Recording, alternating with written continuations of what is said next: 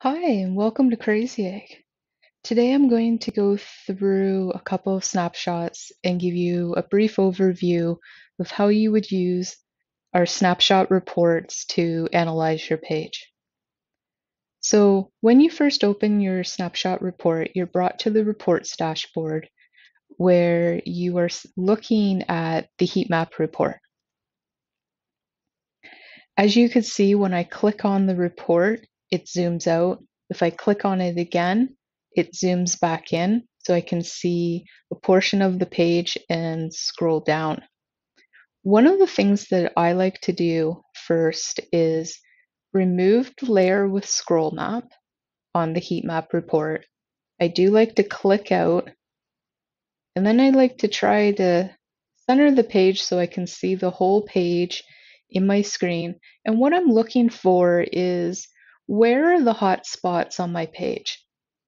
Are the clicks occurring in areas where I would expect them? Or are clicks occurring where I know they're dead space? In this particular example, the majority of clicks are occurring exactly where I would expect them to be on the page. I can click again and zoom back in and get a more detailed look at where those clicks were. The brighter the color or closer to white, the more popular that element is to click on. These blue clicks are what we would consider one-off clicks. Not a lot of clicks in these areas, but enough that we shaded them blue. The very next thing I like to do is go to the scroll map report. Now the scroll map report is going to show you where visitors have stopped scrolling, something in that area has caught their attention, and then we color code it to show you how many people are stopping in that area so that you know what is catching people's attention, what's engaging them. So first thing I like to do is find my average fold on a report. Anything above the average fold is what visitors are able to see, no matter the screen type, without scrolling. From here, what I like to do is zoom out, center my page, and here what I'm looking for is the color bands. So I can see from here up is definitely catching people's engagement. I can see some bleeding through of the green in the blue area here. And then I can see that this area has turned cooler, it's blue, but it picks back up again with this green. And then I'm just going to scroll just a little bit further so we can see more of the page. And then it gets blue down here. Note I have not used the term drop off. And that's very important when you're talking about the scroll map when you're looking at your crazy egg snapshots. If I zoom back in and I go back to the heat map, and now I turn the layer with scroll map back on. So now I have my scroll map along the left hand side. If I scroll down to some of these blue areas, the reason I didn't use the term drop off is because you can see in this area Yes, the scroll map is blue, but according to the heat map, there's quite a bit of activity that's happening on the signing up here to subscribe to our email newsletter. So the importance here is the popularity is at 27%. So if you take 27% and times it by the total number of visits that have been tracked while this snapshot was gathering data, that's how many visitors saw this area of the page. And of those visitors, there was quite a bit of engagement here, and even throughout with these light blue clicks. It's the same thing when we come down to the bottom of the page. Only 11% have made it down this far on the page, so 11% times the total number of visits again. But as you can see, this number two in the pagination is white, so it is highly clicked upon. The last is bleeding through red, so it's the second most clicked on item, along with 3 and 10 that has green. So Even though a lot of visitors are not coming down to the bottom of the page, those who have made it down are clearly engaging with content on the page. So something to keep in mind when you're analyzing both your heat map and your scroll map report. Now you can go in any order when you're viewing these reports. You don't have to go left to right or right to left. I prefer a different type of order in which I'm taking you guys through. And it really comes down to what question are you trying to answer as to which report is the best one to look at. So the confetti report is the report that shows you the aggregation of all the clicks that have been made on your page. And then we offer a filter of 25 different filters that you can use to get a better idea of who are the people or the groups of people that are making these clicks. So by default, we're on refer. And if I wanted to zone in on all the ones that come from, say, Google, regardless of what country, I can look for patterns to see if Google traffic, and I will just minimize this, if Google traffic is having, regardless of country, people click in the same area. Now, I keep referring to country, and that's simply because Google has specific domains for each country. If I specifically wanted to know about country, I would use my filter to come to country. And now I can look for, say, France. And even though I'm not doing any marketing in France, see if those people that are coming from France are clicking on meaningful areas. So clicking on the logo, not as meaningful, but using the search field, clicking on links, see if they're signing up. They're not signing up, so I may not want to spend additional marketing dollars to France people targeting people from France just yet, but it's something I can keep an eye on. So that's the confetti report. Now the overlay report, I tend to use in junction with the list report. I prefer to go to the list report first. And the list report is our most technical of all our reports. It will show you everything you can visually see on this report on this page from your website and order it from the most number of clicks to the least. It's technical because we're using the element name and giving you the type of element.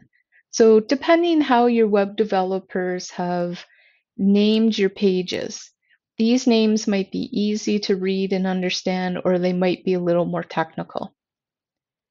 The Not Visible tab collects all the data on elements that have been clicked on that you visually can't see on this page. So for instance, we have a tab system over here. If a visitor came and clicked on All Time tab, a new list of links would appear in this section where I'm moving my mouse. Any clicks on those links would show up under Not Visible. So anything in a drop-down menu, a tab system, an accordion menu, carousel, we track all the clicks. Even if you've hidden your pop-ups or your banners from your snapshots, we're still tracking the clicks on those elements, and you'll find that information under Not Visible. The Both tab combines both of these tabs and orders it from highest number of clicks to lowest. And then this is where the tie-in comes to the overlay report. Anything in blue is visible on this page and is also a hyperlink. If I scroll down just a little bit in the list report, anything that's whitish gray is an element that was found on the not visible tab, and I'm just getting the information that I see. Before I use the hyperlink which is going to take me to the overlay report. I'll point out one other thing. If you have a high exit rate on your website, either Google or Adobe Analytics has told you that, or you're not using either of those tools and you're wondering if you do, the list report on the both tab is a really good way to determine that. What will happen is typically the first 10 rows will all of be link type, and that will tell you that people are exiting your page. Now, you can evaluate if that exit rate is a good exit rate or a bad exit rate by looking at the type of link. Is it taking them further into your page or website? Good exit rate. Is it opening up a tab on the same page? Good exit rate. And really not a true exit rate at that point. Or is it sending traffic to another website where you have a relationship with, you have some type of agreement. That could be a good exit rate in that case. If you have no agreement or arrangement with that other site that you're sending your traffic to, then that would be considered possibly a bad exit rate. So, focusing now our attention on the overlay report. If I click here, I know 701 clicks have occurred at the current hits, but you know, I kind of forget where the current hits element is.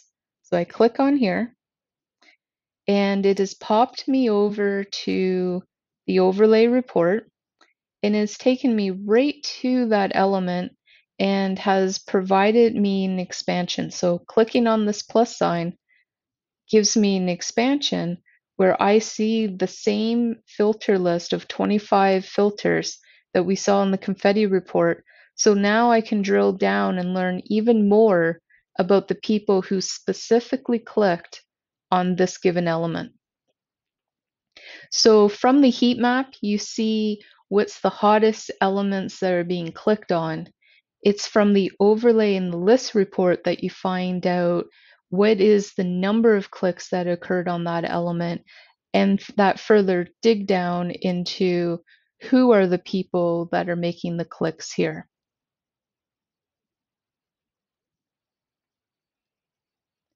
Now, the overlay report has a lot of power, and I'm only going to skim the surface here. The overlay report, as I just shown, is a way to drill down and find out what is happening on a specific element. Notice though that I have this filtered on live. Anybody that comes and clicks on an element on your page that does something for them opens a new tab, allows them to search, opens a new page. Anything that's actionable gets classified as a live click. Other are those clicks that happen in dead space that there are no links to, or you'll hear me start to use the term missed opportunity clicks. Note there's a lot of value in paying attention to missed opportunity clicks. If I go back to live and I focus on this link, I only had 10 clicks on this link that we thought was quite powerful. When I go to other and I look at the paragraph above, I see that I have 53 clicks in this paragraph, but clearly there are no links. This is an indication that the visitors that are reading this want more information that's related to this paragraph. Here's an opportunity to optimize this page further. If I put it on the Both tab, which combines live and other clicks together, I now have an excellent UX UI design report. If I come up here to search, and I see 665 clicks have occurred in my search field, which is great. That's what we want. But then I start to look at these dead clicks and notice the border. The red border is around my search field, but this gray border shows some white space outside of my search field area. Now, it is only five clicks that have occurred in these dead spaces, but as I start to drill down further and I look, I have another 13 clicks in this larger area. Now I'm at 18. Again, 18 compared to 665 is not significant. until I come up here by the title and see that I have 318 clicks of people clicking here. This is what we would call a missed opportunity to make a better experience for visitors and ease, make it easier for them to search. So this is a really good report for looking at design features where you can just tighten things up and make it a little more easier. So that's our main reports. I am going to jump over here to another snapshot. And one of our newest reports that I want to talk about is our page performance report. So looking for an icon that looks like a bar chart here.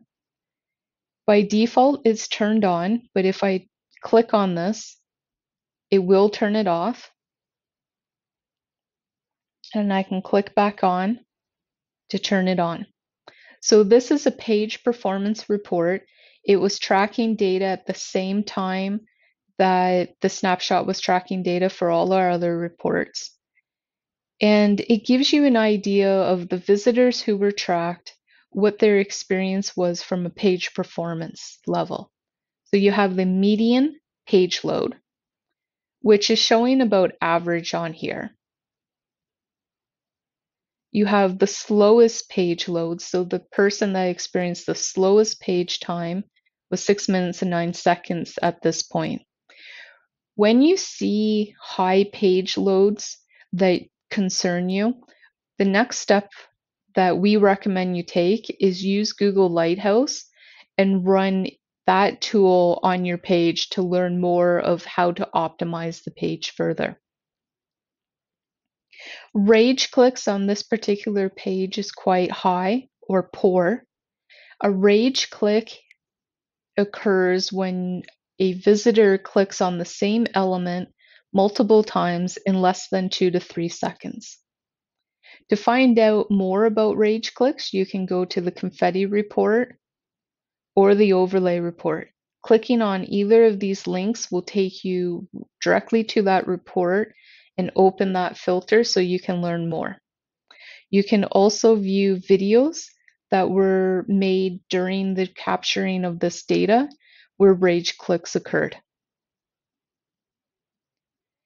Dead clicks is an overview of how many people are clicking in areas where there are no links. It, it doesn't do anything for them, doesn't take them to another page. Like rage clicks, you can click for the confetti, the overlay, or video recordings to see what is it that people are trying to learn more about. Page bounces, by definition for us, is when a visitor comes to your page, the page loads in their browser, but yet they make no clicks or they do not scroll your page. If this occurs, we count that as a page bounce.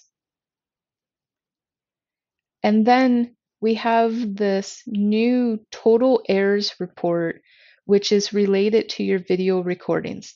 So visitors who have landed on this page and triggered an error on the page will show up here and tell you how many errors and what's what is the type of errors. These errors show up on what's the console or the developers tab. The majority of visitors will never have this open while they're visiting a page. So some of these errors may not affect their experience on your page. But it's a really good idea to check out these errors and to check out the video recordings to see are visitors having a bad experience? If they are, it could be related to this error. If they're not, it's an error that you should pass on to the web developer so that they can look into it further and just clean up that sort of thing. All right, well, I'd like to thank you for your time I hope you found this helpful. If you have any questions or would like to learn more, please check out our Help Center at help.crazyegg.com or email our support team by submitting a request through our Help Center. Thank you.